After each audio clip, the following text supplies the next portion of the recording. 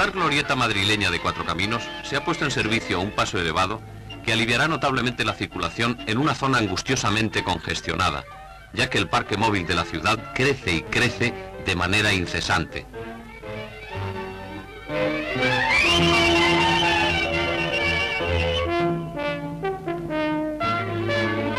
El paso superior, recién inaugurado, forma parte de un ambicioso proyecto municipal cuyo objetivo es transformar los viejos paseos de ronda en una rápida vía de acceso y circunvalación.